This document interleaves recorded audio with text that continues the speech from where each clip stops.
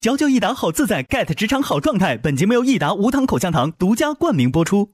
Olay 美白实力派，职场发光就现在，七天亮十四天白。本节目由 Olay 玉兰油赞助，AI PC 出手，offer 轻松到手。本节目由惠普星 Book Pro 十四行业赞助播出，自信每一面，带感赢 offer。本节目由百度帮阿达帕林凝胶赞助播出。持妆无斑味，实力更出众。本节目由雅诗兰黛 DW 方气垫指定赞助播出。蓝河超多乳铁蛋白成长 offer 马上就来。本节目由蓝河绵羊奶粉赞助播出。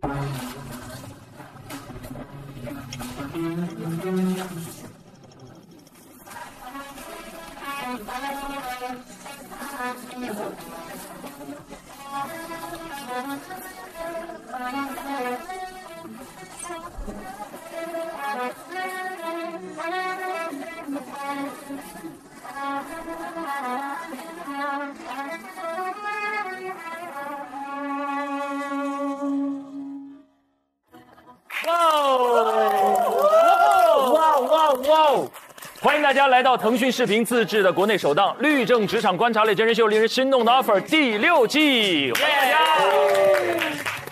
嚼嚼益达好自在，get 职场好状态。本节目由益达无糖口香糖独家冠名播出，AI PC 出手，offer 轻松到手。本节目由惠普星 Book Pro 十四行业赞助播出。本节目由专注皮肤健康三十年的百多邦品牌赞助播出。天猫双十一正在火热进行中，好品牌、好价格尽在天猫双十一。本节目由天猫赞助播出，欢迎加油团的各位成员们。上一期呢，实习生们完成了课题四的减刑陈词的考核，紧接着也迎来了课题五的发布。八位实习生分为控辩双方，将进行一场有关谋杀案的模拟庭辩，他们将真实的走上法庭进行实战。上一期两方评议出了各组的上庭人选，这一期我们一起来看一看这场精彩的庭辩将如何上演。一起来看吧。好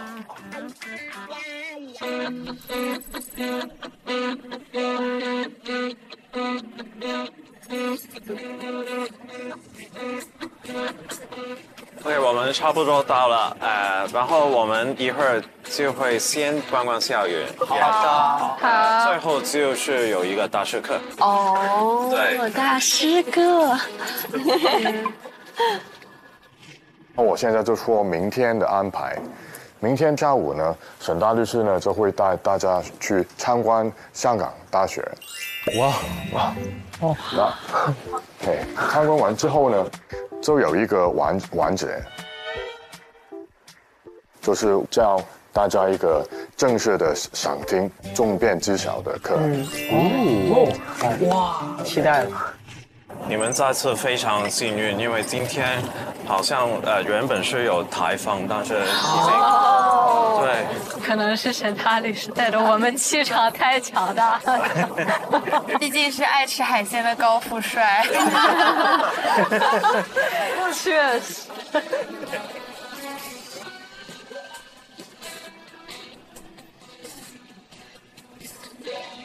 ，OK，我们可以可以下车。好，走吧。下车走吧。这里我好熟悉啊，港大是不是很大呀？还可以。这里是 G 楼，你们看到这里有三道门吧？嗯，有一个传说，就是这两道门是可以走过去的，但是中间这个就不可以。如果进了这这道门的话，考试就会不合格。所以你们可以走那两条路，我我走这个可以。全凭实力。这就是主楼，你们看那个钟塔，哪一个？这个吗？哦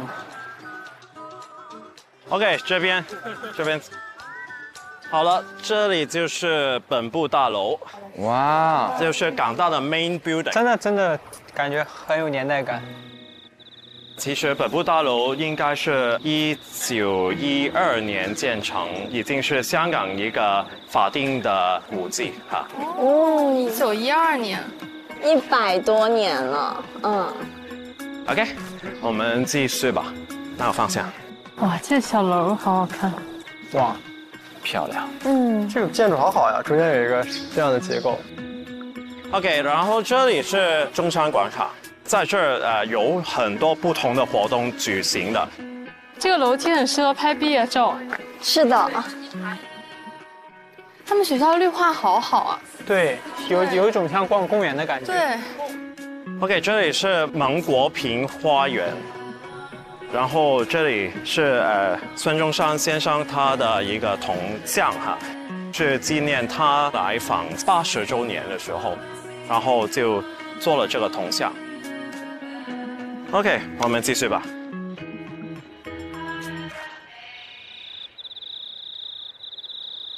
OK，这里就是法学院的郑裕彤教学楼。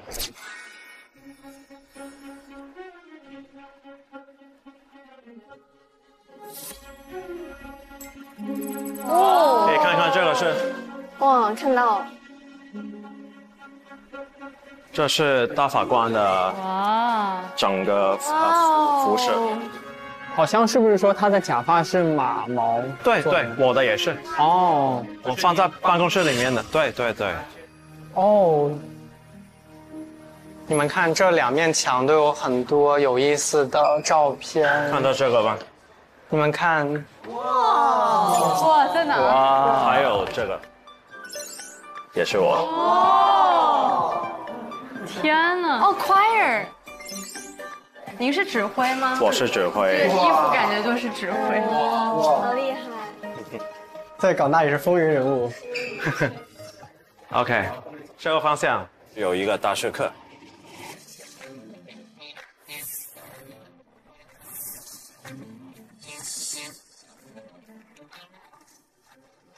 哇天哪！妈呀，好帅！啊哇哦！哇哦，哇哦看到谁吗？师傅好，好帅，师傅这个登场。请坐。好的。随便坐坐就可以了。今天我也是你的学生，不会吧？坐两排。Well, without further ado, let's start. Welcome to this lecture hall.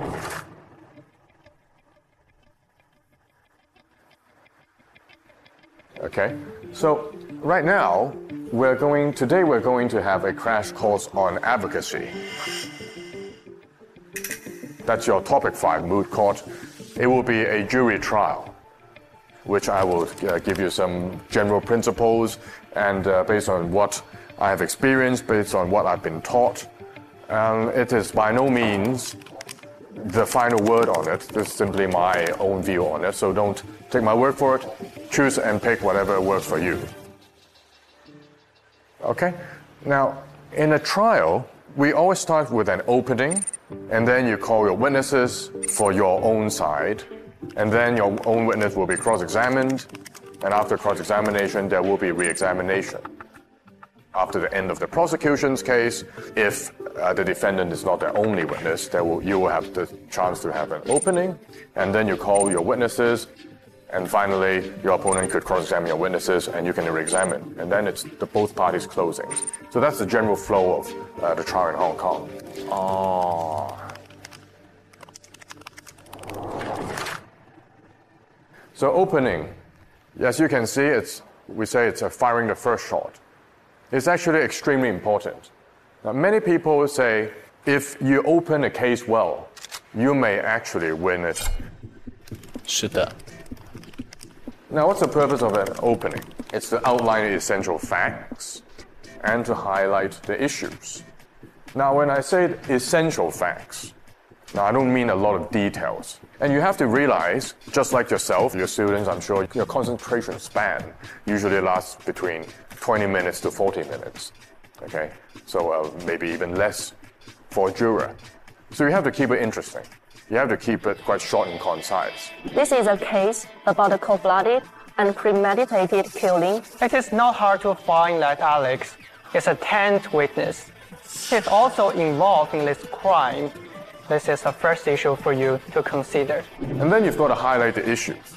You've got to tell the jury or the judge, well, what should you focus on? There are all these facts in this case. What should I be deciding? What's the final question or questions I need to think about? And then there's another very crucial question. Is almost different practitioners have different views on this. Do you want to open high or do you want to open low? Eh? If you open high, you are assuming that all your witnesses will be star witnesses. It is impressive to the jury when you first say that to them. You're telling them a perfect story. But the problem is, what if your witnesses they do not? What if they don't come up to proof? Then you will lose credibility. Yeah. They won't listen to you. You lose credibility. Which is why someone chooses to open low.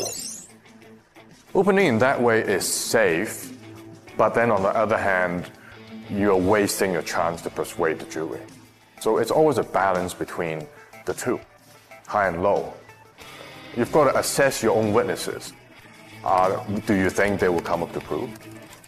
A general rule, a general, very, very general rule is the professional witnesses, they usually come up to prove easier when you compare it to uh, civilian witnesses.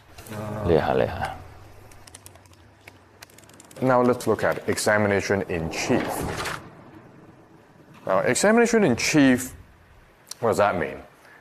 In some jurisdictions, it's called direct examination. It simply means you are not allowed to use leading questions, open questions. No leading questions. What does a leading question mean?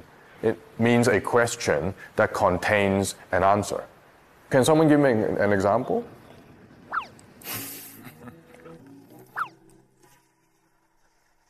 Why don't, uh, Marco, can you give me an example?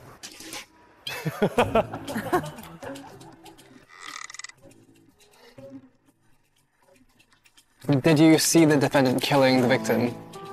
Yes. Can Jay give me a non-leading question? Uh, did you go to that place? Uh, what did you do that day? Right, exactly. Okay? So, a question that's non leading is open. What happens if you ask a leading question during examining in chief? Your opponent will object to you. They will object to your questioning. Has she ever expressed to you in words about anything to do with Objection. Leading question. Objection. Objection, leading question. You need to think about how to lead without leading. You're linking this question to the previous question, and you're giving direction to the witness, and you're narrowing the issue down. Okay? This is a crucial technique. If you can use this properly, your examination in will be very smooth.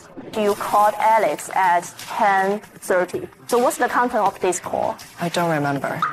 I took my medication too. I was drowsy. No, I have no idea. I haven't seen it. I don't really remember. Uh, yes, another cr- very crucial, I'd say, tip, which I found to be very effective for me. I'm not saying it applies to everyone, but uh, prepare answers, not questions. Once you've written down answers instead of questions, you can focus more on listening to the witness instead of just focusing on, okay, whether he, he or she answered my questions. So that's examination in chief. And then cross examination every question you ask is actually a risk. Potentially, that witness will say something that's completely detrimental to your case. You never know. Okay? So, if the evidence is good enough, I would decide, okay, let's not ask that witness anything. Because the evidence as, as it stands is good enough. I did a case where my opponent deliberately left out many, many things as, scientific evidence. Deliberately leave out many things and just bring out something very general and wait for me to cross examine. What's the advantage to him? If I cross examine on all the points, on all the natural points, then he will have the chance to re examine his witness without, he will have the final word. And I cannot deal with his evidence anymore. Yeah, you see, it's a tactical decision. So instead of falling into his trap, I just decided, oh, I've got no questions on that topic. You can't re examine on that. And then he's stuck. Okay, so there are all these considerations you need to think about. So don't just cross examine for the sake of cross examining. Okay? You really should cross-examine with a purpose. When you see a witness that's not answering your question, that's avoiding your question, you simply repeat your question again. Once you repeat it two or three times, and the witness is still not answering your question, everyone in court will know that person is just lying. Yes. Now, expert witness is slightly different, is a different animal, literally. First of all, they can give expert opinion. Other witnesses, they're not allowed, in general circumstances, they're not allowed to give their opinion. So you need to spend some time studying experts' evidence and the expert's report. You really have to understand what the expert is talking about. The fact that he's an expert in that area doesn't mean you can't challenge him. In fact, quite the contrary. But you have to put in the work. Okay, so you have to be really precise. How to attack experts? Two usual lines of attack. The first is you've got to challenge their credentials. Could you please describe what's your current position and which institution are you affiliated? When did you obtain the professional qualification as a psychiatrist? The second line of attack is to challenge their factual basis. You've explained in your psychiatric report that you executed this request solely in reliance of her words. Am I correct? According to expertise, it's just a maybe. So that's not the only cause, as you said before.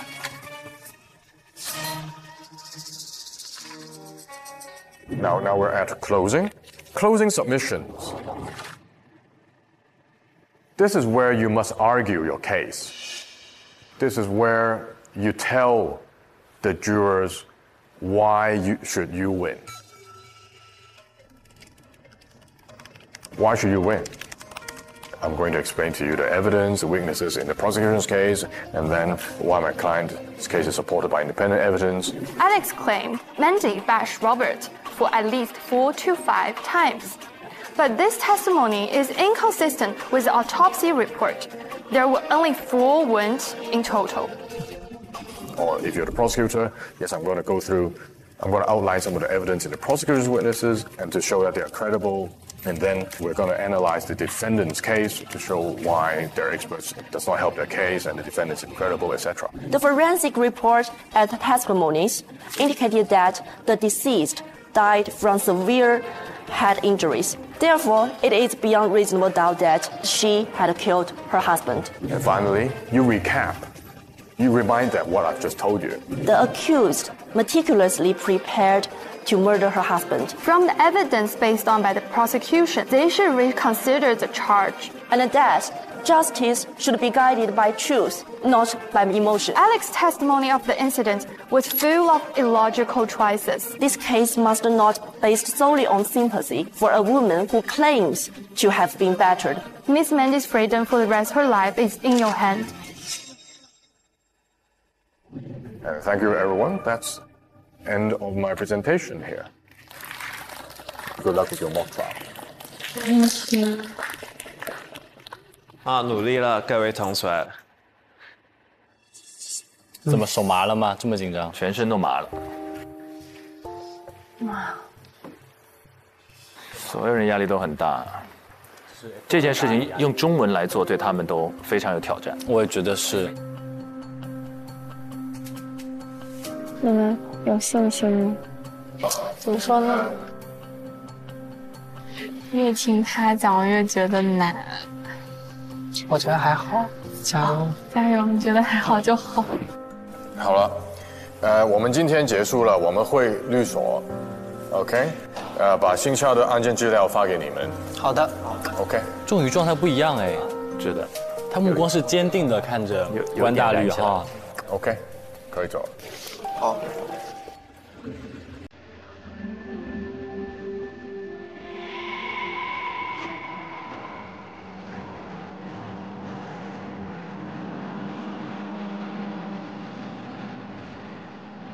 都不聊天啊？我们要开始看证据了。对，你们看完心情会好很多。刚才关大律师是不是发了一份新的？我现在打。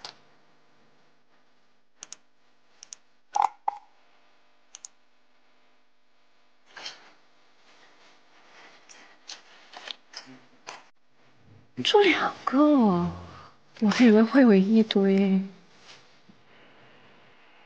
全靠现场问了。我们得去找案例。嗯。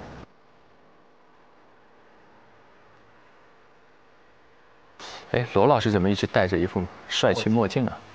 可能眼睛有点发炎，是不是？压力大，卖卖卖太卖力了，比如说得了麦粒肿。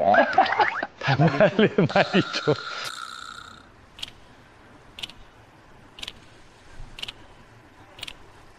我找到了我们这个 case 的原型吗？哦。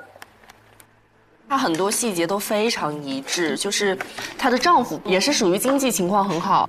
哇哦。哦。然后她也是说她有常年受到一些家暴啊之类的。然后也有 whisky，她也在 whisky 里面加了药。也是那个药会让她没有反抗能力，然后她就把她给打死了。Oh my god！天哪，就是跟我们最大的一个区别就是，它里面的第三者没有出现在案发现场，我们的第三者是直接出现在了案发现场，所以他成为了一个非常大的嫌疑人，就有可能是他弄的，不是那个妻子弄的。嗯，然后这个案情持续了非常长的时间，但是反正最后两次的判决都还是有罪。那还是对他们有利的，对控方来讲。我觉得我们还是可以很有自信的，就是，对你接着说，他们那边我我觉得最主要的三个 defense，一个就是 self defense，这个其实还比较好打，因为这个案件里面他也说自己是 self defense，但是这个完全不成立。对，而且 self defense 就是他都走路都走不直，都都没办法走直线，keep balance 不成立。对，因为他喝多了嘛，是吧？是这意思。嗯，他都没有就反抗的能力。哦。而且还有他给他的第三者发消息，然后到第三者来，就是你中间这么长的时间，这个危险的一个急迫性是在哪？然后第二个点就是他们会打 insanity。就是想说那个药，但是这个我昨天查了也是很难成立，嗯，因为他那个药不会让你有对自己的行为有错误的认知，哦，就它会产生那个叫做前行性遗忘。律师太不容易了，学法学还得学药学。前行性遗忘是指的在发生一些创伤的事情之后，他的记忆会消失。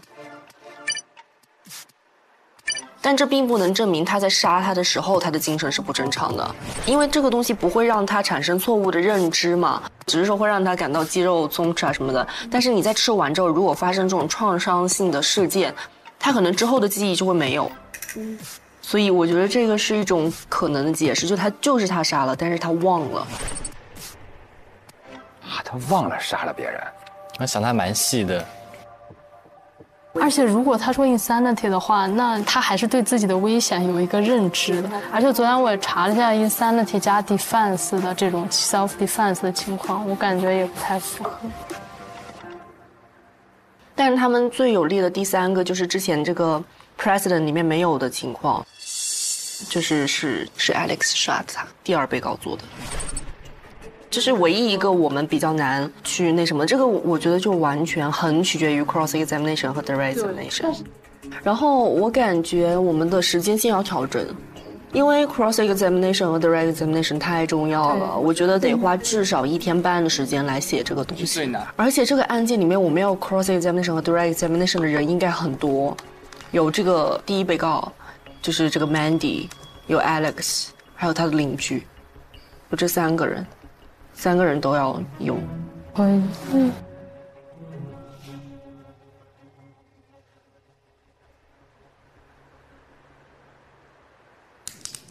我刚把事实大概理了一下，我现在愈加觉得我们当事人很无辜，必须要给他争取到无罪，一个罪也不成立。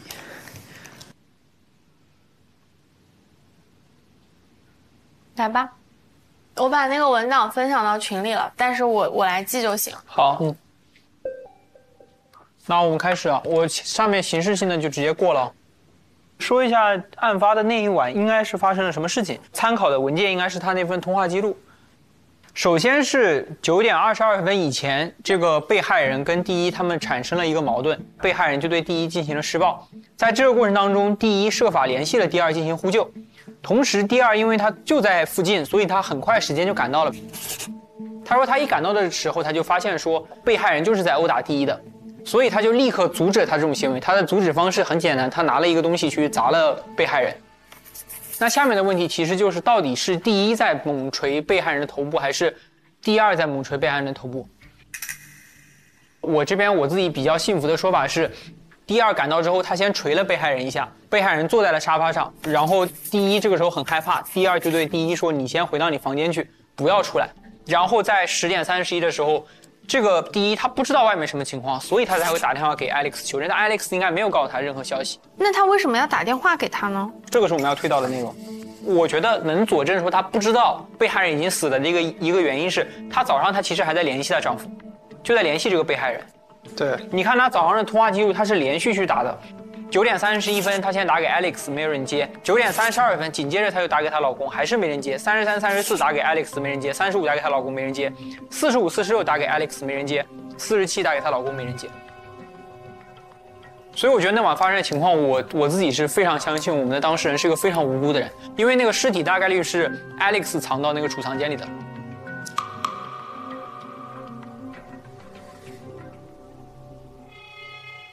那有没有可能是他脱罪的表演？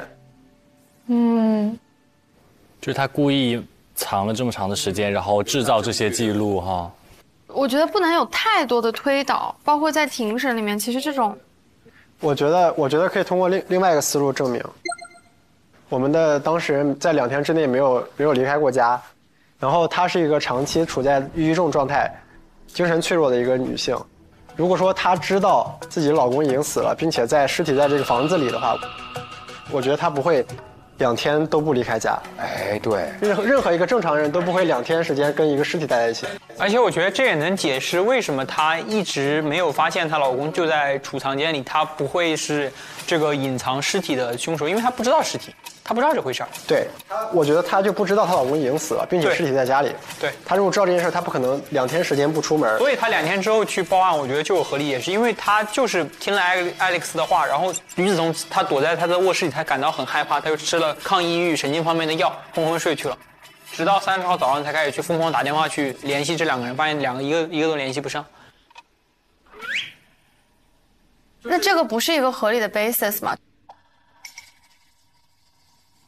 就像他说的，有各种各样的可能性，并不一定是我们所主张的这个 situation。而且我觉得，当现在这个情况下面非常不利于我们去主张一个 reasonable basis 的原因，是因为 Mandy 的口供里面，他那个 proof of evidence 很清楚的说了，我不知道发生了什么事，我不记得了。那所以其实相当于只有 one side of the story，只有 Alex 的 story。对，Alex 的 story 就是完全不利于我们的。那我们的 basis 是什么？只能说我们去把我们的故事讲清楚，其他没有其他没有 evidence 去佐证不，那不能讲这个故事呀，因为在法庭里，你要讲任何故事，你不可以只是 I think 什么的，或者说 in my opinion，这 maybe because of 什么什么，你你的 spec 任何的 speculation 必须有 basis。严谨。哦，这个电话好好棘手啊！这个电话就是有可能会很利于我们，也有可能会很不利于我们。我觉得就看那个第二，就 Alex 他在场庭上怎么说了。听上去本来是有利的事情，万一那边一扳倒，就变成好像他们要故意要怎么样？哦，呃，等等，可要不稍微等一下，先把证据全过一遍，我们再来捋故事。也行行，没问题。可以吗？那，那你你讲一下吧。嗯，我觉得其实是可以尝试做一个无罪的辩论。可以呀、那首先是邻居 Amy 的一个证词，我把我觉得一些信息点吧都写下来了，但有的可能用处没有那么大，比如说他 Robert 很频繁的出差呀、然后这个点其实我想说一下，我觉得是很不利于 Mandy 的。因为 Mandy 一直在主张自己频繁被家暴，就是隔天就被家暴。人家频繁出差，怎么可能隔天家暴呢？回来打，回来打。确实，这个有有一定道理。这怎么办呢？没有啊，你在被家暴的时候，你是处在一个很恐惧的心理。我的就是就比如说，觉得对我总觉得你一在家我就被打，你一在家我就被打。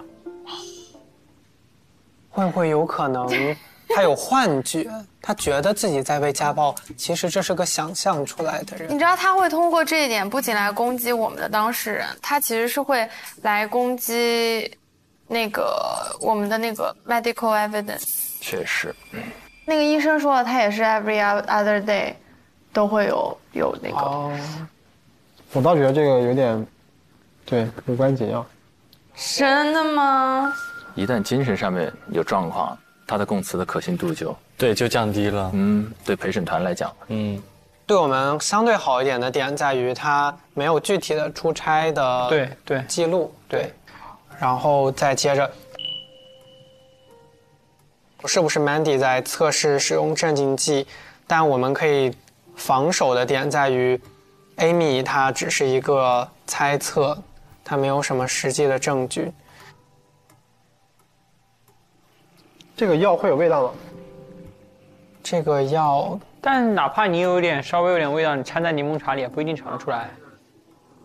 哦，他 invited me for reviews。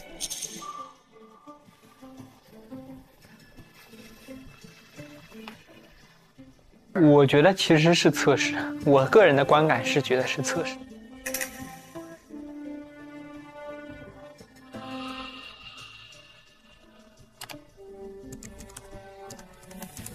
难道我们的 Mandy 是一个反社会人格的杀人狂魔？好可怕呀！把这个思路赶紧给我在这里打住。开始质质疑自己的那个什么了，就越想越觉得好像是那个 Mandy 干的。这个点挺不利的。对他应该就是在测试，我自己的想法也是说他是在测试。天哪，这怎么越说越像 Mandy 心思缜密，能不能先把这个口供，我好多想说的，我先讲一下。来吧，展示。OK，我主要是针对这个我们的当事人 Mandy，他的一个法庭提供的证词。第一个陈述呢，就是他解释了为什么要用这么多药就混合在一起，而且用了一个 a higher dose。这两个药是帮助他 calm down 的，这是你自己吃的药，你没是的有按照处方去吃啊。他按照处方吃的。处方没有允许你把这些药 overdose。就是你是超剂量的，但是他这个药它是帮助他 calm down 的，它不是一个其他的药物。但是他吃的过量了呀，你不觉得这个点很有可能被人打死吗？主动下药。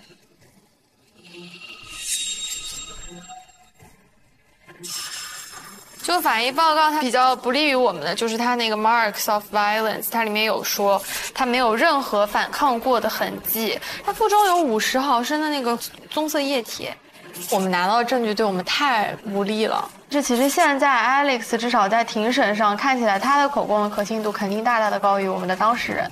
疑点重重。我感觉细思极恐，咱们陈可儿快崩溃了。感觉这像一个无尽的深渊，我们还有很很远很远。我也有这种感觉，但是我觉得不能这么想。哇，我这个案子好复杂呀。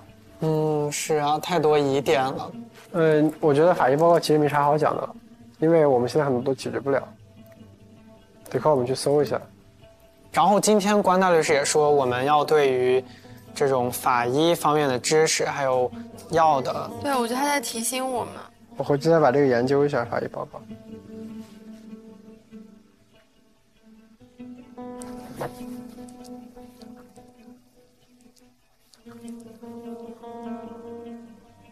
拜拜。先还觉得时间比较长，现在发现不够用哈，太不够用了，这至少得一周啊！这你说他们准备的咋样？他们好像很有信心呢。我一直告诉自己不要这么去想，但是还是忍不住想。他们挺挺有把握的，我感觉。他们没有我们压力那么大吧？其实也。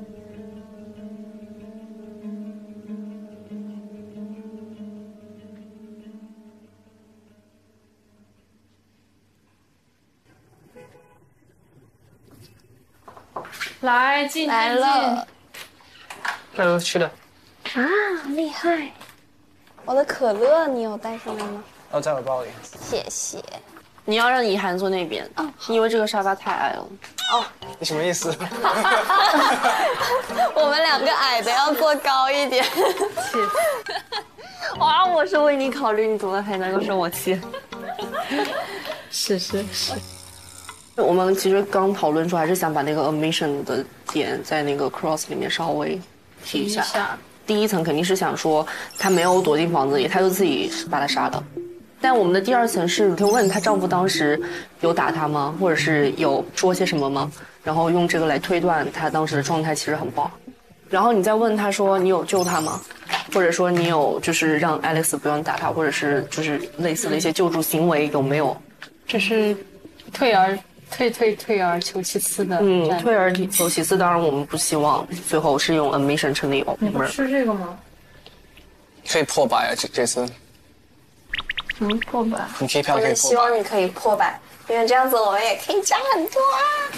哦，可以平台破百。求带飞，有点像像那个帮我们在打段位。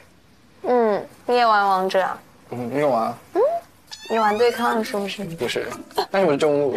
啊，我也玩中路。我杀前区有排名，只有洛星一个人在默默杀前区。杀前区是香港的区。你快点吃。对不起，对不起，对不起。我我也有世标了。真的吗？嗯。你什么段位？我上一季是王者六十二颗星。哇哇哦，很高嘞！王者六十二颗星，哇哦！你们再聊游戏，我要打人了。哦，说得好，就管小孩而已啊。就是解味十足。没有，主要是时间不够了，真的，对，太紧迫时间。我们今天要把 case theory 定一下。嗯嗯，就是第几层第几层定一下，我们就定完就去睡觉了，好吧？好。呃，你可以睡觉，也可以不睡。真的是一个好老板。已经挺晚了，其实。我星期总要在团队做个主办律师，能把下面律师助理管得好服服帖帖的，啊，特别放心。好，拜拜，拜拜，晚安，晚安，嗯。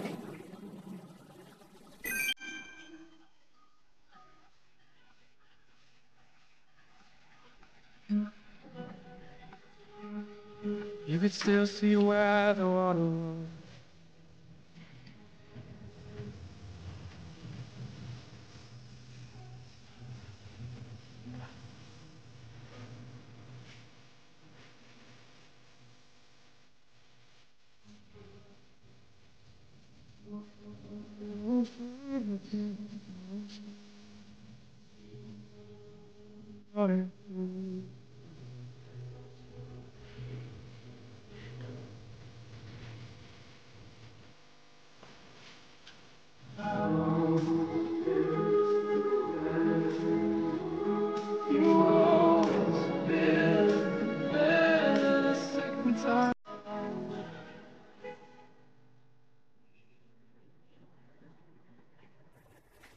冲啊冲啊！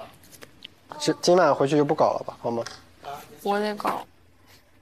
我看到这个仙，我就好生气啊！能把它扔了？哪一个？干嘛？你现在还觉得这个仙不好吗？Still really？不是看看看到什么东西？看到这个仙，他就觉得我的持方很差啊。可儿先选了这个辩方，怎么意思？开始怪领导选择有问题了是吗？不是，我这个持方到底是就是问题在哪里？你告诉我。我们家防御点太多了。那他们防御点不多吗？他他们是进攻的那一方，他们有啥防御？就跟好人法一样。我们有啥防御吗？所以你们输了呀！你们毫无防备啊！最后我们就是化守为我们输，我们输是因为我们的定义没做好。走走撤。你说的有点道理。攻击的那一方确实那个。我们是挑战者。哎，你这么说我就觉得压力更大了。你搞得我就又觉得很惭愧。跟你开玩笑。每天晚上就是攻攻击我的持方，昨天也在攻击我的持方。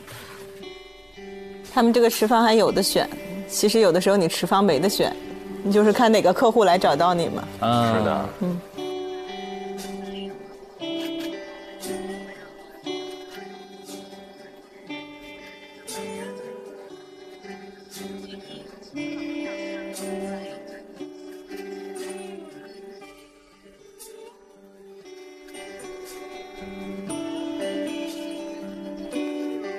经历选择是要空方还是要变方？呃，变方，呃，变方。变方。好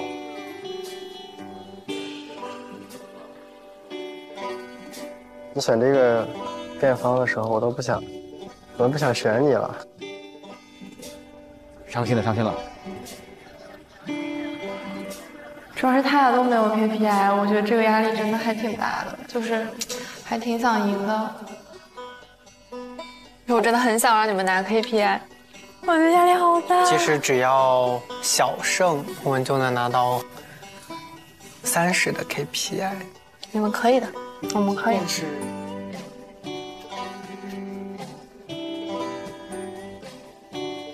我越看这个证据，我心里越没底。你应该选空方的，因为我们终于选你，完全是因为 我这个持方选的有这么差吗？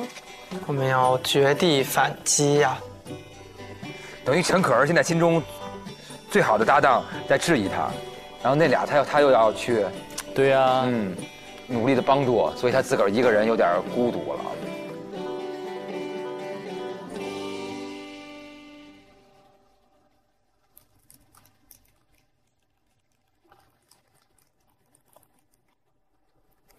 他已经在突破药物了。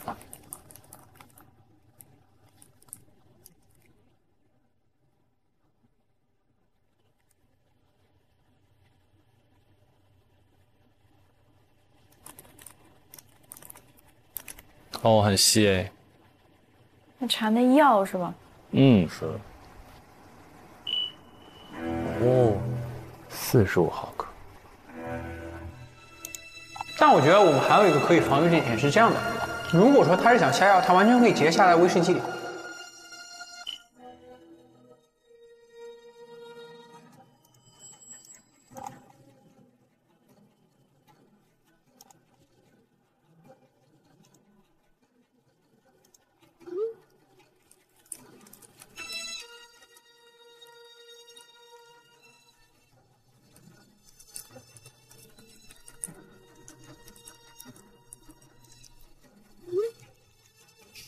变方是非常非常不一样。嗯。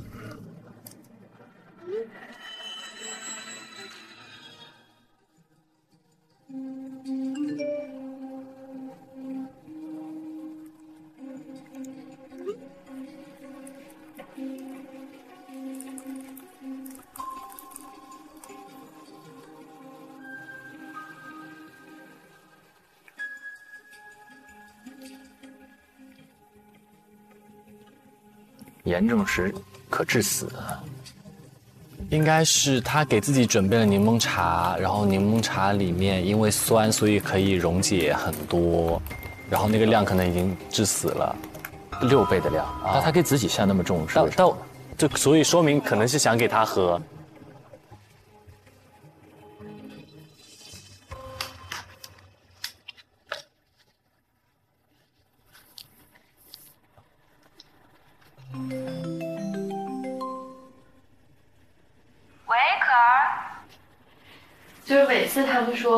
喜欢这个持方的时候，我都觉得压力特别大。就是有一种感觉，好像别人别人本身也不想选这一方，就是因为觉得你选了这方，然后过来支持你一下，然后结果最后还让他们没拿到分。啊，我就是觉得压力特别大，就感觉。哎，你别哭了，宝贝。就是我觉得，如果是我自己选的东西，然后我自己做的好，做的不好，我觉得很自责，你知道吗？你看，就是队长，就是压力太大了。但我觉得很累，我想休息，因为我觉得有很多点都就是完全没有想好怎么去打，然后我知道的别人都不想打这个持方，觉得不好打，然后我觉得没有人打这一方，所以所以选了这一方，但是其实他们自己也不想打。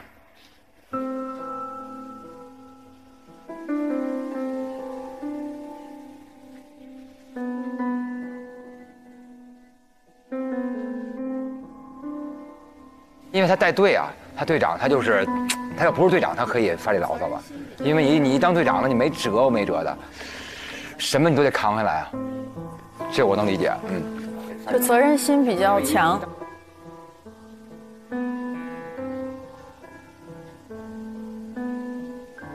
自己这边还有两两位零分的朋友，哎呦，不容易不容易。以他现在查到的，他觉得是可能会被对方打个完胜，你知道吗？一分拿不到，也能也能理解。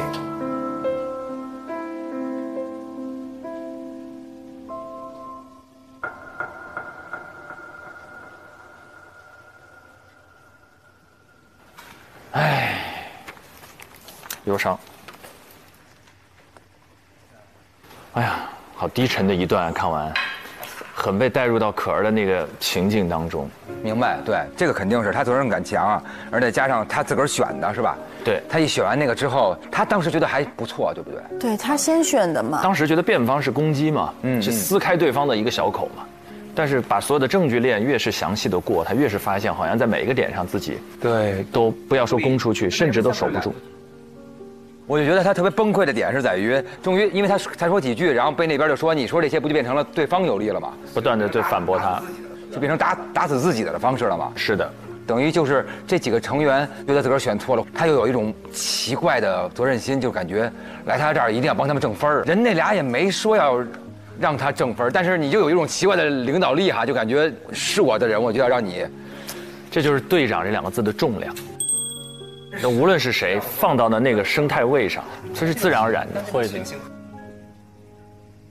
想问问刘律，现在可儿遇到的这种情况，您站在专业的角度来讲，是是真的，就是像他想象的那么大压力吗？好像千疮百孔，会被碾压，还是年轻哈？年轻，因为从持方的角度来说，我们没得选，就是你今天不知道是 Alex 找到你，还是那个太太找到你，你不知道你的当事人是谁。嗯，当他找到你的时候，那么你就要跟他在同一个利益线上。然后在这个位置上，他现在的责任感只是什么？只是我的队友能不能拿到这几分？是的这几分能决定什么？能决定他们拿不拿到这个 offer？没有这个 offer 又怎样？还会有其他的 offer，只要你实力在。哦，他把他拉红拉远一点看这件事。对啊，但如果说你是真的面对你的客户呢，你的客户因此会被判谋杀耶，那个时候你的责任感会给你带来的压力是更大的。啊，人命呢还有啊。对，所以我就觉得这才哪到哪。是的就是我们每天面临的压力，就我们说刑事案件办的是当事人的一生，有了大的行政处罚或者大的民事纠纷，其实也是可能会倾家荡产的。嗯，所以，其实你要是做律师的话，你需要有这样的一个大心脏，你需要对客户有一定程度的感同身受，去促使你有责任感，把他的事儿当你的事儿。但同时，你要有一定的抽离，让你能够保持很中立、客观的去处理这个事情，就得要有一个过程。但肯定的，就磨出来的。那那确实是这个这需要岁月。我小时候把我妈杯子给打碎了，我感觉我马上就要死了。我说我怎么跟我妈说这个事儿啊？世界都我哭的，这个怎么解释啊？对吧？这事儿你往后就是说，嗨，就是，但是 就这么点事儿是吧？小时候一丢点一丢点事儿，就小时候感觉去校门口没带那个红领巾进不去哦，天塌了，怎么办？把零花钱掏出来，校门口买一条，就是系上去之后心才安。怎么大家都有这种经历哈？我爸把我所有球、足球、什么排球、什么球丢掉到掉到那个窗外，我什么球都没有，我都完了，我天哪，生无可恋。但是他现在在这个情况下，因为他还他其实还没有真正的进入职场，是不是？他是一个求职的过程，他肯定是慌哈。对。但是这种过程，您看着是不是有有有有一丝可爱的感觉？嗯，能回想到我当时是什么样的一个心态。但我还是欣赏他的那个责任心哦，对啊，就是这责任感是一个特别宝贵的一个品质。如果一个小朋友他有高度的责任感，我让他松一松，我好让他松；嗯如果他本身没有责任感，我让他树立责任感，我很难。对他还会觉得我 PUA 他。是，嗯，每每个人都不愿意自己被上紧箍咒。是。确实是这么说，责任感有个对对面有一个叫松弛感啊，就就就很松弛感的情况，就意味着就这事儿你要点他名儿呗？也没有到，也没有到，也没有到松弛。我记得我小时候就是也是带我们班同学要要组一队，别人要组一队的时候，别的别的班同学有有奶茶喝，我都着急，因为我也要给他们给他们弄。然后后来我就给他们吸管，让他们去喝别人奶茶嘛。然后那个，但是我一直认为，就是很多时候你就是要，连他们生活之中的某一点一滴吃喝住行，你都觉得你得管，而且你自个儿都都已经快崩溃了，你你要你又怕他们吃不好喝不好，嗯，就特别的难受。呃，然后刚刚我们也看到大律师在跟实习生们上了一课，讲到了这个庭辩的过程当中的一些辩护技巧。对对是的，呃，这一个案子当中，好像呃，洛星刚才有提到盘问环节特别重要，想问一下，这有两位律师在这个这个庭辩的技术过程当中，这是一个胜负手吗？这个点？盘问是庭审当中的一个非常关键的环节，你要通过盘问，然后把对方的可信度全部要再重新攻击掉，再建立一套自己的立论，这个压力就会是特别大的。然后停辩呢，其实最核心的思想是你不用去说服对方，因为你永远说服不了对方。真的一个成熟的、有经验的律师是永远都会立得住自己的。嗯，所以你不要想着去说服对方，说服的是陪审团，说服的是裁判者。那小何律师在这个具体案件当中呢？小何已经出过庭了，对我已经出过庭了。啊，帅气哦！我也讲一下自己的一些心得，就确实像刘律师刚刚所说的一样，最重要的是把你的观点非常清晰、有理有据的讲给法官听，让他能够就是准确的 get 到你到底想要讲些什么。在今天这个案子里面，它其实是一个刑事的案子嘛。对。那刑事的案子跟我们平常的民事其实是两方都是律师还不太一样。那刑事案件里面的话，会由这个控方先来提出我要控告你的是什么罪，所以他需要把这个罪立起来。那辩方需要做的事情，相当于就是说，那我要破除你要立的这个罪。那在这里的话。控方需要达到的一个要求是，你要排除所有的合理怀疑。就是说，控方如果说我要证明是你 Mandy 是你杀的，那他要排除，那一定不能是可能，还有一种情形是这个第三者他来杀的。只要有一种可能不是被告杀的，那你的控控罪就不能够成立了。所以控方他需要证明有杀人的行为。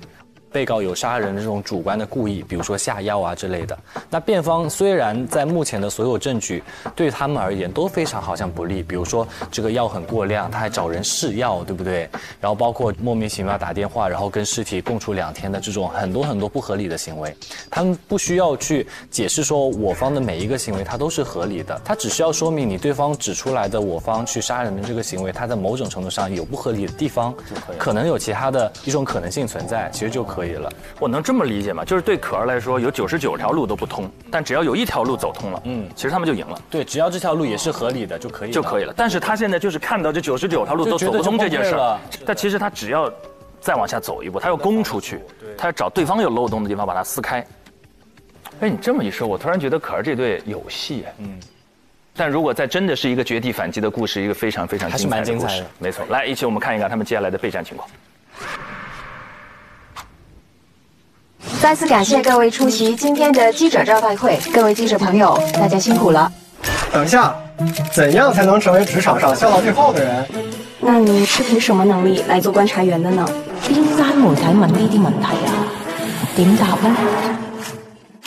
我只示范一次。做嘢最緊要有好狀態，職場要自在，靠的還是一打一打小數自在好狀態。哎，刚刚曼姐吃的是什么？原来是益达。益达全新升级，果味瞬间迸发，口感清弹，嚼得更爽。嚼嚼益达好自在，get 职场好状态，把职场变成你的自在舞台。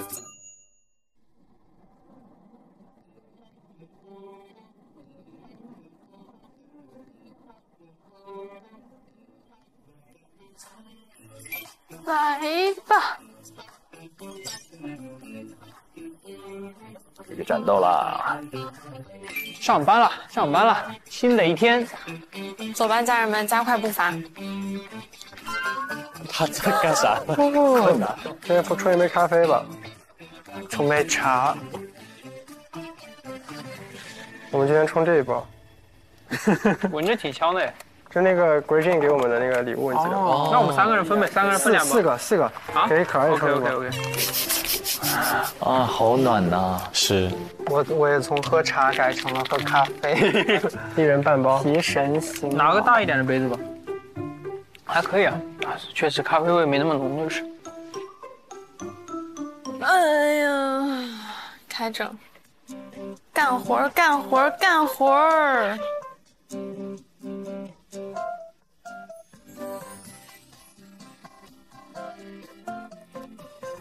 我发现，其实我写了一点点以后，我觉得看陈词其实也没有办法完全就是定下来，因为要取决于对方说了什么。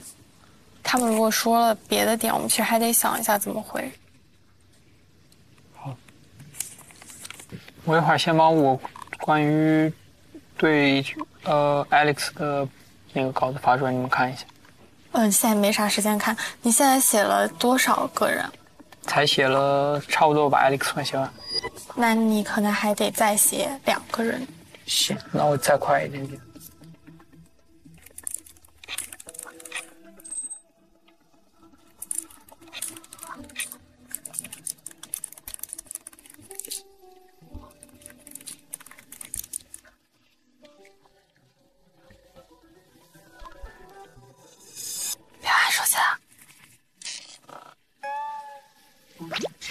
别插嘴，别玩手机了。好的，等输了，有的时间玩手机呢。不会输啊。等输了，你的好兄弟们就可以一直玩手机到第八个课题了。对啊，我都快写死了，我都写两千字了，你在那玩手机，我真的要揍你了。还瘪嘴，你现在真的觉得一寸光阴一寸金？对我真的很紧张。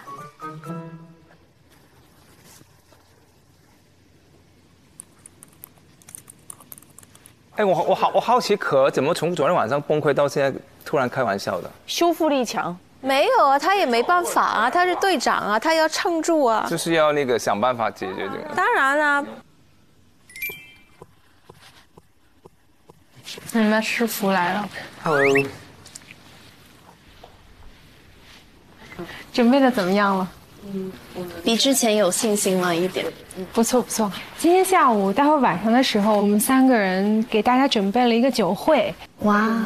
因为做大律师还是可能要有一些 social 的技巧，然后大家最近也比较紧张，所以大家可以去玩一玩，然后多认识些人，也可以给自己打通一下人脉。好的，好。七点半，所以我们六点准时下班，然后换了衣服就可以过去了。好嘞，谢谢那个，嗯，拜拜拜拜拜拜。收手了。哦，所以六点下了班有有局啊？我上午把 opening 写完。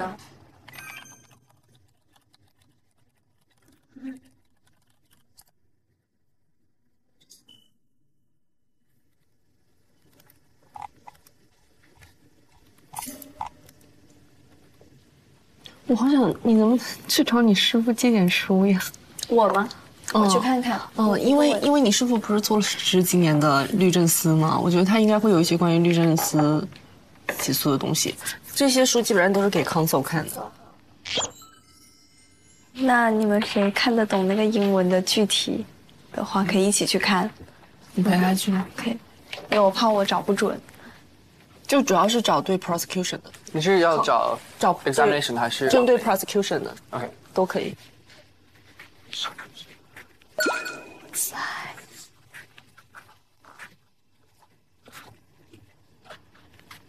浅看一眼，他有什么书？嗯，有啊，我们可以进去吗？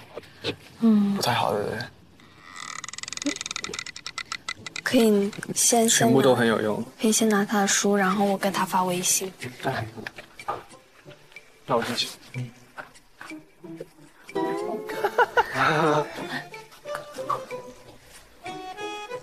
好了，我们借师傅的书。干嘛？吓死！他没想到怼脸可以怼这么近。是 direct 的这个。哇，这完全就是直接的。Microsoft Direct，嗯嗯这应该也是需要的。嗯。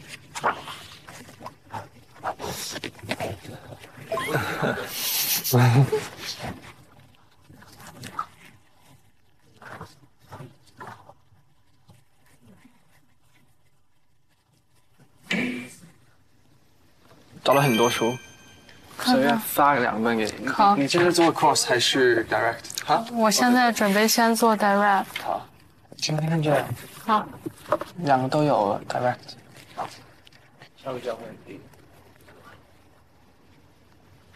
天哪，大律师真的太牛了。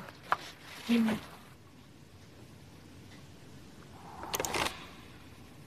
我觉得他给他倒威士忌也很可疑，在跟他谈离婚的时候给他倒一杯威士忌，就我觉得这是一个很关键的点。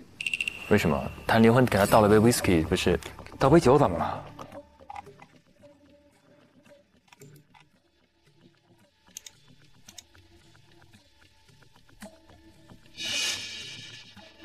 柠檬茶的外形是不是和威士忌一样？哦，很细哦，它容易拿错嘛。他就用两个杯子呀。然后他弄柠檬茶，就是因为柠檬茶，一个是它的味道可以盖掉药，一个是因为柠檬茶的外形的颜色是和威士忌一样的。然后他把两杯放在一起，那个男的会搞不清楚哪杯才是威士忌，然后他正好他就喝，有有道理。嗯，我觉得他说的那个好好，就一个一一个 conceal。有道理耶。所以证明了是一个故意的隐瞒是吧？对，一个故意的混淆。对，哎，我觉得柠檬茶这个是他们，就不是她自己喝的，是她要让她丈夫喝，这点一定得打下来。再问的是 Mandy 的 class。我来说一下吧，先。好，我先把梳理下来的几个思路讲一下。嗯，首先，控方上庭，因为他指控我们的是谋杀，所以他在他的开庭陈词里面说的必须得是谋杀，他不能一上来就说我指认你的是过失杀人，那和他的那个控罪书根本就不一致。对，所以他们哪怕不认这一点，他们也必须开端这么说，这就是我们的开庭里面很好能抓住到的一个点。对，我们就往谋杀打，谋杀就是不存在，他绝对不可能被定谋杀。哇，气场全开了，可儿。第二项就是关于下药这件事，如果在庭上风向不利于我们，我们就承认，我们宁可就直接就这个点不要了。啊？为啥？因为你这个太难讲，说是他自己给自己吃的这个药，或者是说你没有下药的意图。他九点钟的时候就已经在求救了，他案发时间是八点到十二点，他很有可能在击打他的时候，他的药效已经开始呈现了。他突然 calm down 下来，控方肯定会说是药起效了，而不是被 Alex 打了。因为它的所有的点全部都是指向于我们下了这个药，而且它的柠檬茶特别特别酸。它采用柠檬茶的原因，就是因为柠檬茶本来就是酸的，所以不容易被察觉。你觉得他是自己完全不可能去喝这个茶吗？你吃药，你会自己专门调配一杯，就是能够融把这个药融进去的饮料，然后你再这样去吃药吗？因为一个 reasonable person 如果想要让自己 calm down 下来，你肯定会用水去吞服这个药的。你为什么要费尽周章把它溶于一个柠檬茶呢？对呀、直接吃啊。我的想法还是，如果庭审上不利于我们就算了，因为所有的证据都不利于我们。所以我觉得关于药那块儿，我们可能不能说就放掉这个点。我觉得我们就是你不是说所有的犯罪一定都是可以随你愿的，但他已经尽他最大的努力让 Robert 有喝下这个药的可能性了。我觉得这就已经非常的实锤了。真的，好难处理，因为我们一旦把这个下药变成一种故意的话，就这个案件就非常难打了。下药的这个行为导致一切不利后果都要被我们承担。我下这个药的目的和犯罪没有任何关系啊，我最多只是我没有注意到我的注意义务而已。我下药的行为是因为我要离婚，你不需要与犯罪有关系，你只要下这个药导致他那个状态就可以了。你下药的这个事儿，其实对他的死亡到底有没有很严重的？绝对造造成很大的贡献。因为我们现在是没有任何反抗痕迹嘛。对。你如果有反抗痕迹，你可能不会自己眼睁睁看着自己一直大出血，对，就不会有这个死亡结果的发生。对我觉得是对他的死亡做出了非常大的贡献。但是我们那个药的那个点必须得做好准备放掉，因为庭审的风向如果不利于我们，在这个点上不断的纠结，只会降低 Jury 对我们的信任。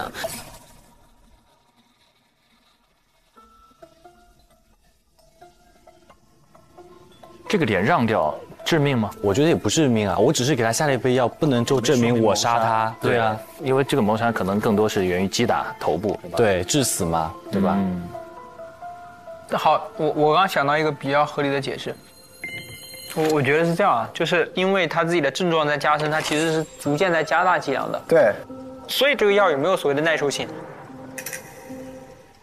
他你下了药呀，这个挺难说的一个点，就是因为我们的这个疑点不够合理，他的目的就是要诱导 Robert 喝下去。倒了一杯柠檬茶，你我怎么确保你会喝呀？他当然不能百分百的确定 Robert 一定会喝下去，只要这个概率够大，他就值得尝试。像你去害一个人的时候，你要诱骗他，本来就是一个成功，是一个概率性事件。还是要准备几层，就是到最后不行了再放。我没有不支持我们去就这个点展开辩护，只是我觉得有一定的难度。如果在庭上的风向不利于我们的话，我们一直执着于这个点，只会显得我们很尴尬。但是你不能把这个放掉啊，这个太关键了呀，关键是。我是认同志远的说法，我觉得我们这个点不能放，真的不能放，放了挺难听的。挺难打的。嗯。我得做点检索，你稍微等我一下。来恢复一下好状态。还得是你，终于太棒了。来，可儿恢复一下状态。谢谢，谢谢，这么多。姐姐不要生气了。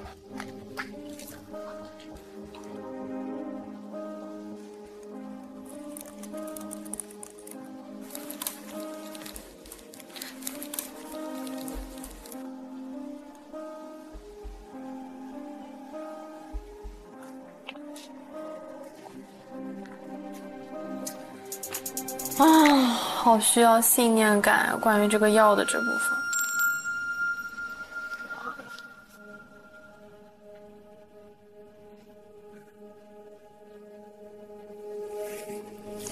先写吧，写的时候估计就有思路。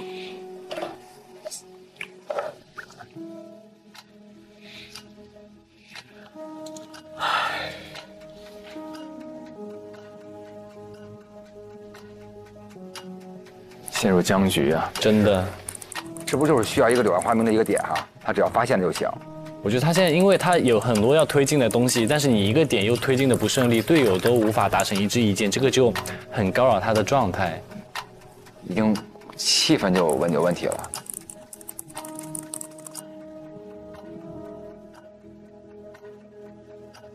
感觉导演压力好大呀。我也觉得。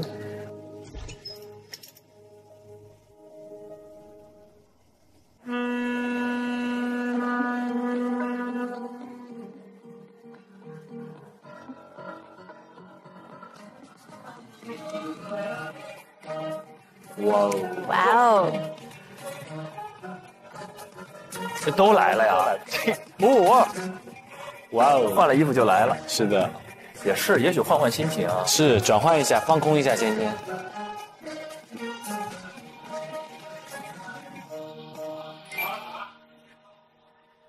哇哦，嗯，啊，完全很不错。对，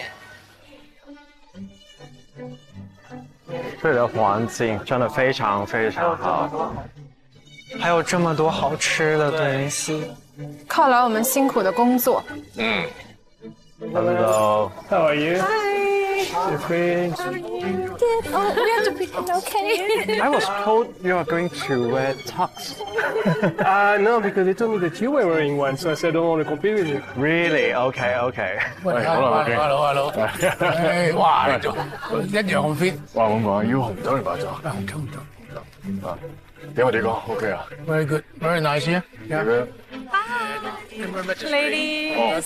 Oh, you're here. 哦，沈沈大律师太。 Tracy is my wife. How are you? Thank you for coming. It's like being in Portland, America. Yeah, you remember? 阿 Mac 靠你，你好，Robin，係 Rio，佢留垃圾俾我哋，你留垃圾俾我哋。原先今晚想請阿 Green 嚟嘅，不過冇 contact。我都冇 contact。Congratulations. Congratulations.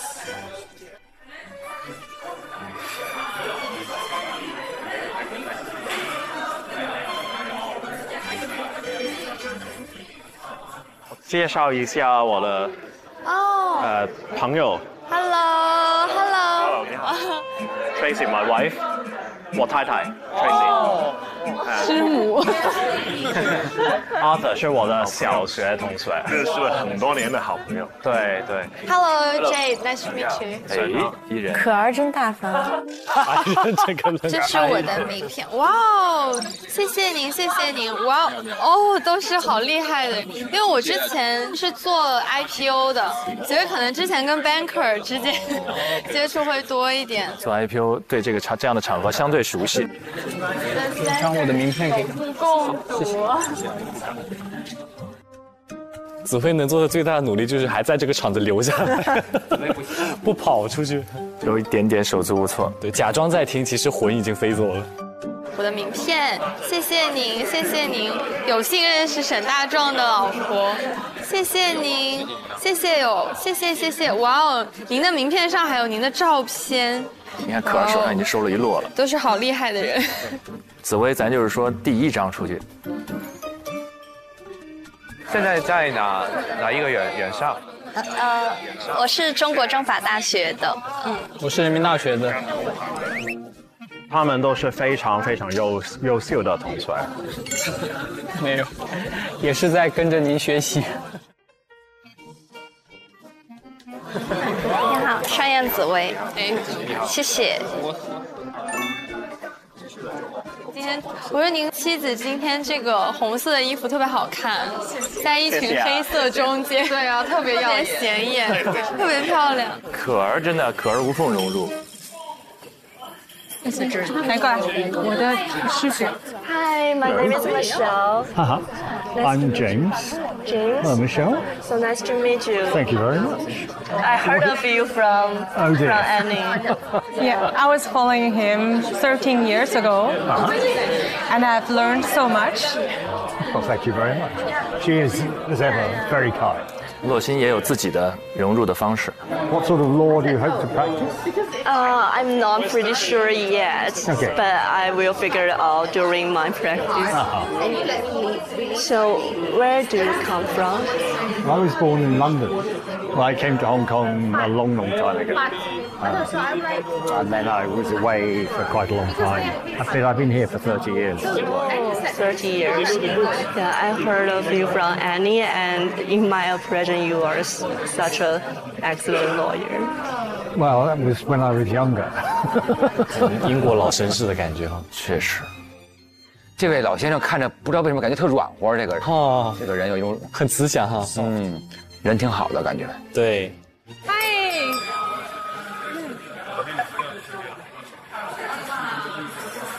好久不见，各位。我们今天叫大家过来呢，因为太长时间没有跟大家见面了，所以要聚一聚。另外呢，我们大律师行最近收了一些非常优秀的实习生，所以要借这个机会呢，让他们多认识一些社会各界的成功人士。所以希望大家多多指教，啊、教他们一些自己的特长和专长，给他们适当的教导。We need all the interns to come to the middle to introduce themselves to everyone. 爱人，真气。 because we are very efficient and that's the fastest way for us to know who they are. So who would like to come first? 怎么还有这种环节啊？好可怕啊！谁会第一个？文翰还是 Marco？要命了哦！文翰。Always try to be the first, right? First person has advantage. 文翰，文翰，文翰，文翰，文翰。要要求用英语，不知道啊，应该呃 English and Chinese。And okay, I I will be the first. Yes. 王文翰。Okay. Yeah, 文翰是必须的。你们要是压灯能压这么准就好。 And hello everyone, my name is Wang Wenhan, and I'm now a, a postgraduate student in Renmin University of China. And I wish we can all have a good night here. Yes, thank you. 第二个会是谁？仲瑜。 好，I will go。仲瑜可以，可儿可儿可啊儿，合理合理。可儿非常大方，得体 Uh, 啊。 hi everyone, my name is Jade. I graduated from the University of Sydney with a dual degree in law and arts, uh, major in film studies. Uh, and uh, I ever worked at Freshfields, one of the Magic Circle law firms, and I joined the busy to the bone team, the global ECM, Hong Kong IPO and compliance. Just a TV drama. I really study one. I found my passion for 自动的。然后我觉得学法就是学了一种新的思维模式，它就是像和我原来思维模式并驾齐驱的那种感觉，然后让我感觉学习的是一种无数智慧的结晶，所以我觉得嗯很喜欢法律。然后今天跟大家在这边，我也觉得很开心，很高兴认识大家。Cheers！漂亮，双语自如切换。嗯，What's next? Okay, hello everyone. Nice to meet you all. My name is Grady and my Chinese name is Chen Zhongyu. I graduated from the University of Toronto in the Rotman Commerce program. Hello everyone, my name is, is Eric and I graduated from Zhongnan University of Economic and Law in mainland China. My name is Yihan Luo. Uh, I just graduated from your Chicago Law School. My name is Michelle. I graduated from Tsinghua Law School, and after graduation, I joined an American law firm. Um, I'm 20 years old and I'm also very nervous, so let's all get very intoxicated. Cheers.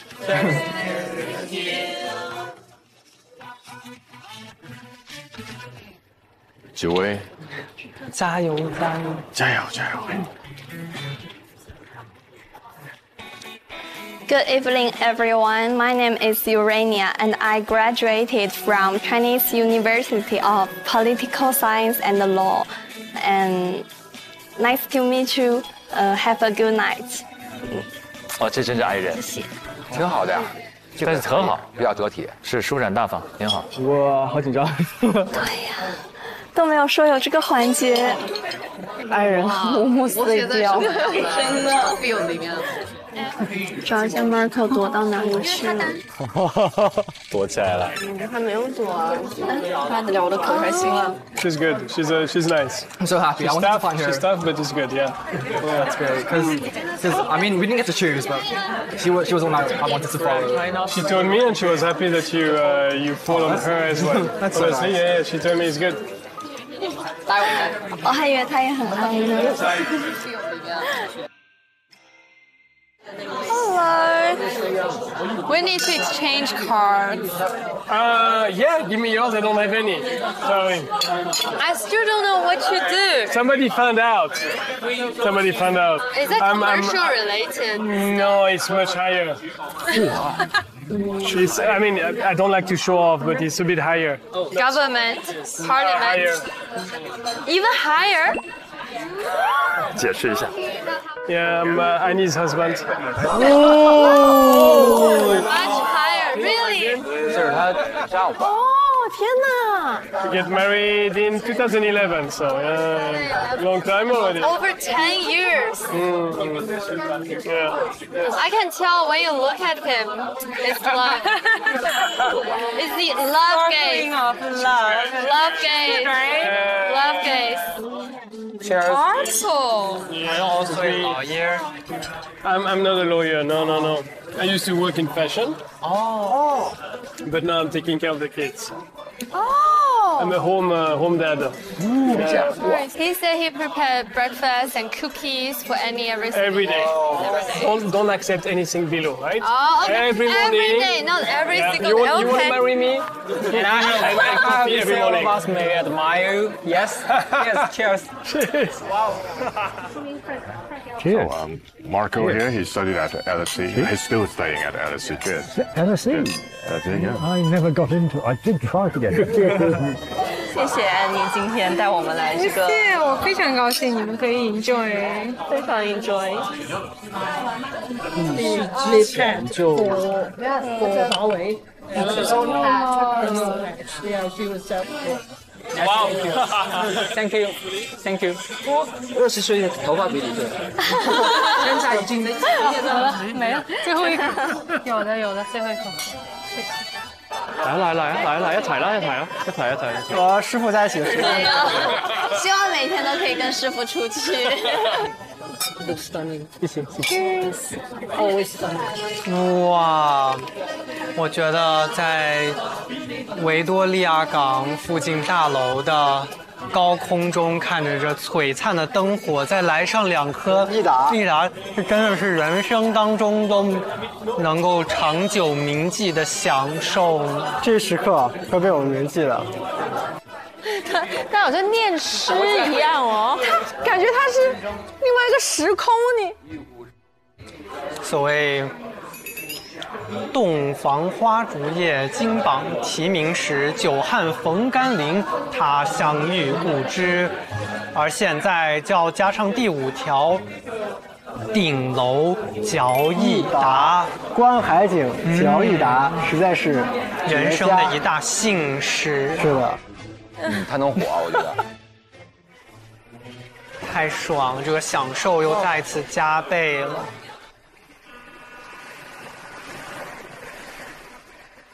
师傅，我推荐这个，好好吃。八角鱼是吗？这比我想象中好吃多了。我一直瞄着这个。真很好吃。好好好，我再来一个。哦，哦，这不是 tomato sauce？对，没有那个 tomato sauce。对，好好吃啊这个。嗯。好。这个案件蛮复杂的，现在准备成怎么样？我说句实话，我觉得压力挺大的，就是感觉想做的事情有很多，然后就是又有很多 intervening issues。嗯。然后我就一直头两天一直在思考，就是怎么利用大家的长处这件事情。这个很厉害，我看我听到你在分配。这个案件是非常复杂的一个案件，你给一个做了十多年的人来处理，也可能也不一定可以搞得定。哇，这句话太治愈了。嗯，光律太好了啊！我觉得其实感觉这课题是我做的最难，就是第一天您介绍的时候，我觉得超激动，然后他们都说我选错持方，就是说就是说我选这方，他们觉得很不好打，就是真的就是因为觉得我选了这方，想支持我一下。这话说的我就压力超大，您知道吗？哈，但我是坚定听你的。你们 hope so。你呢，Grady？你怎么想？我也觉得可能控方更好。师傅，你懂我的压力了吗？嗯，因为控方可以义正言辞的去批判对方。你懂我的压力了吗？就是有一种就那种，我懂，就是为了别人的 expectation，然后又不想大家因为跟了我这个队，然后做了自己不想做的事，然后还没有拿到 KPI 那种感觉。我懂了，所以我我很期待你们。加油啊，Grady！不能让师傅失望啊！好，我去那边一下。好。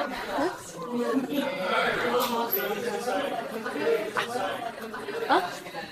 没有，就是感谢一下，因为我觉得，我觉得确实不是，我觉得确实作为组长而言，我觉得你的压力其实是蛮大的。我能 get 到你自己此刻的处境。哦，文翰懂事儿，这是真的。所以说的。我跟仲宇，我们俩目前而言 KPI 是零分嘛，是非常希望去能拿到这个 KPI。那不论是从你自己的角度，还是从团队的角度，其实你都非常希望说我们能够共同加油去拿一个很好的成绩。那你其实去背的东西，其实就会比我们更多。在这个课题上，如果能拿到 KPI，对他们来说也很重要。是的。如果这个课题上带着他们输了，我真的觉得。啊但我们队长很强啊，其实我觉得队长是的，是的。天哪，我压力好大呀！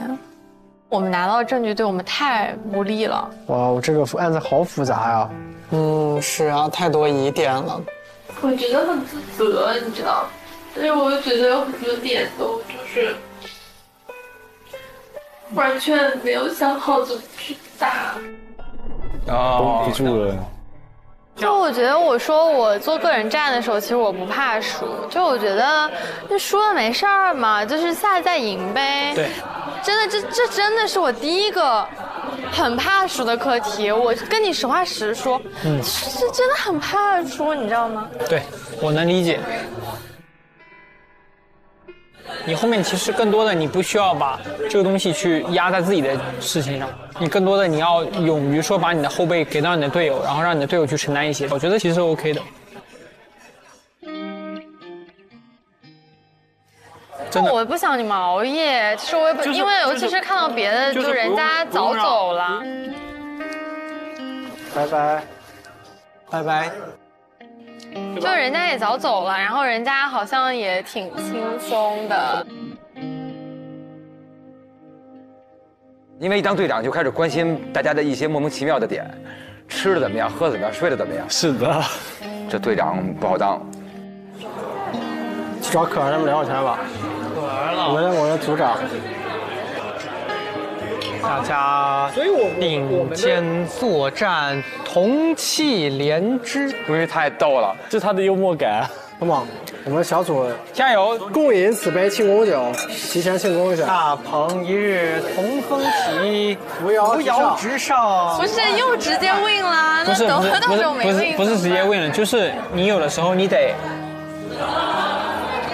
大方向你得把握这个没问题，但是其他的有一些分工上的东西，你该分给我们的你得分给我们，你不能说你所有东西都是你自己来。我们不希望呈现出来一个结果是，我们每天晚上一点钟就睡了，你要熬到三四点，我们这是我们不希望看到的事情。我们不希望看到我们的组长，我们即将上庭的一个成员，他很累，他觉得说他很多事情他交给我们不放心，我们不希望呈现出这样的效果。别说了，可儿都快人泪眼婆娑了。没有。其实我们的诉求因为是一致的，作为我们个人而言，我们很想拿 KPI；那我们作为一个 team 而言，我们很想去赢得这个 team。不止赢得这个 team，为一个无辜的人争取了他的自由权利。可以，你看多开了就行，挺好的，好一点，好好一点，这个氛围好起来了。可儿，Hello，哦，我突然意识到你们可能哦，没有哦。非常欢迎你的加入。Hello，Hello，那我们一起来一个吧，一起来一个 Come on，一起来一起来一个，一起来一个。拍一张，拍一张。好呀，好呀。预祝辩方大获全胜。闭嘴！这个人这个酒没得喝。我跟你说，你但凡换一个人，你已经就是被大家都拉黑了。来吧，预祝大家赛出水平，赛出风格，赛出水平，赛出风格，赛出风采。干杯！干杯！干杯！好好好好好，来，谢谢谢谢。真棒，真棒！这种氛围很舒服哈。嗯，酒会局，嗯，这段看完之后，大家对谁印象比较深？温汉，哇，你感觉这个人活了，对吧？活了。我看好厉害，他特别会放松。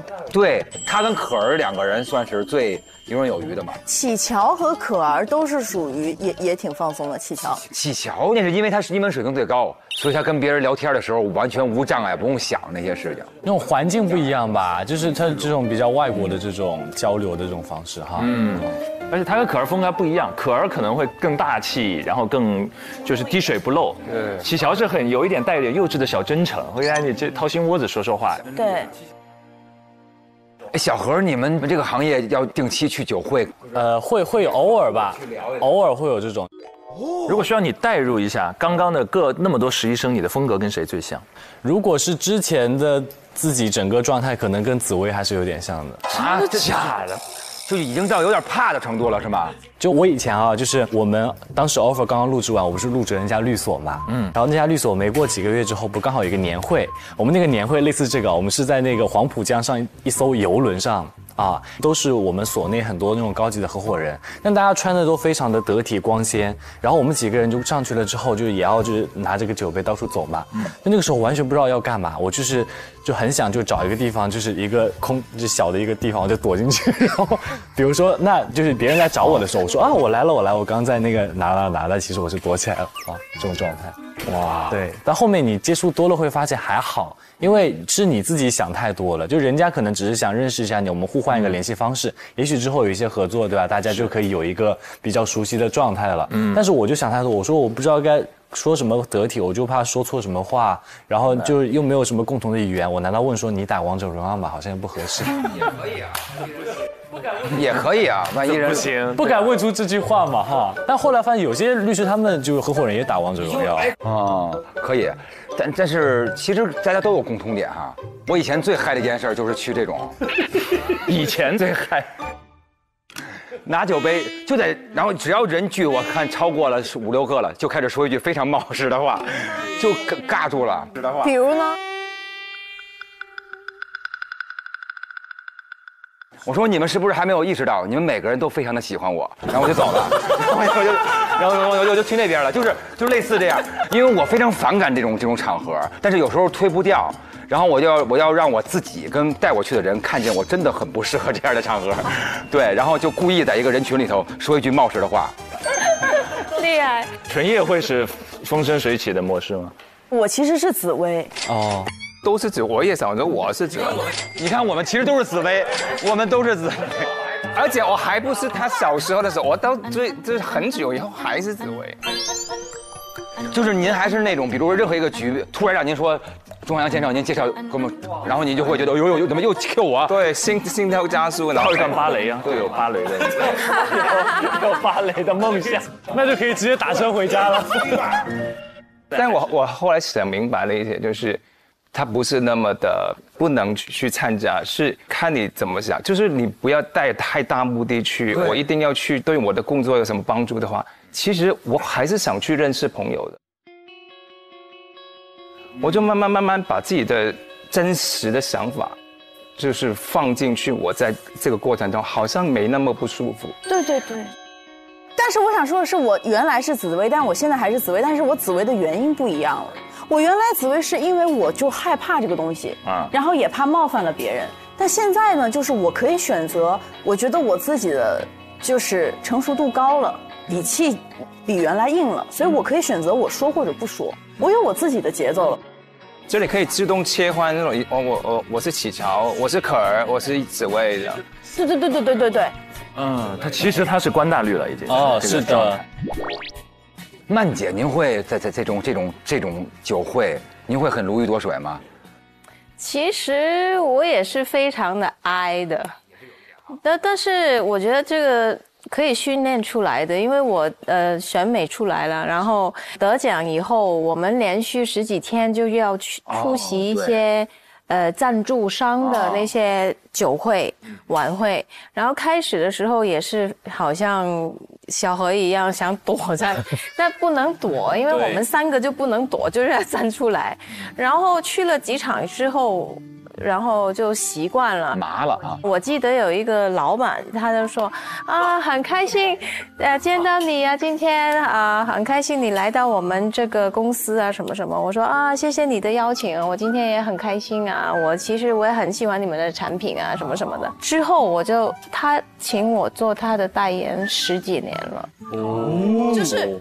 开始的时候我是很陌生的，但是去了好几次以后都习惯了，然后就开始学到一些技巧了。就是什么技巧？其实也是说来说去也是那几句。是是哪几句？学一下。对，我们学一下社交小小技巧。